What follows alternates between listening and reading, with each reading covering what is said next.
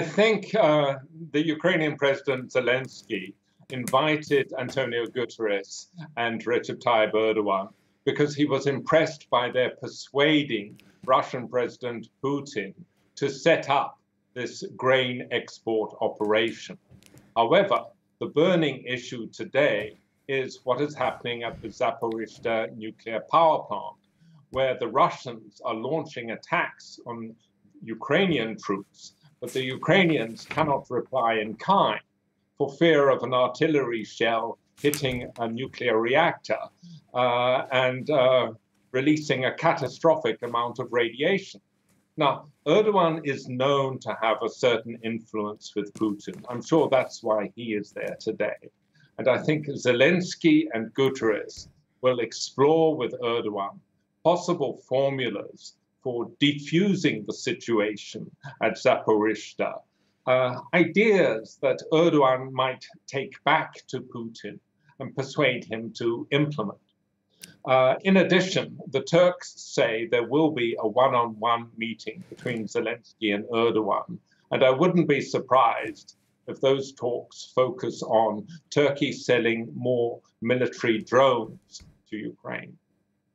Now, meanwhile, uh, Jasper, Guterres is to go to Turkey later on this week to monitor those vital grain exports from Ukraine to African and Middle Eastern countries that go via Turkey. Um, the deal was agreed a few weeks ago now. How well does it appear to be working? Well, it appears to be running very smoothly. It's a rare success story in this bloody conflict. Guterres will be visiting the Joint Coordination Center, which was created in Istanbul after the deal was signed on July the 22nd. And the signing of the deal was witnessed by Guterres and Erdogan signed by Russian and Ukrainian cabinet ministers. Now, this Joint Cooperation Center in Istanbul uh, monitors the ships going to Ukraine, leaving Ukraine, going through the Ukrainian minefields, and passing through the Bosphorus Straits and so on uh, out to the Mediterranean. It's staffed by Turks, UN officials, Russians, and Ukrainians. Now, since the operation began at the beginning of this month, 24 ships have sailed from Ukrainian ports carrying almost 600,000 tons of various kinds of grain. And it's known that the Ukrainians would like the deal to be expanded to include other exports. At the moment, the exports are limited to just grain and fertilizer.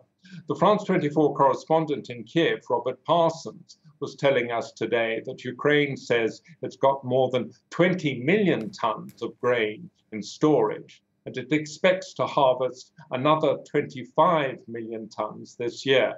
So there should be, if all goes well, 45, 45 million tons of grain to export. The spokesperson of the Joint Coordination Center, Ismini Palla, uh, told me this morning that eight days ago, the center issued uh, its formal procedures two shipping uh, uh, shipping lines, freight companies, and she said that now applications from ships willing to go to Ukraine were just piling up.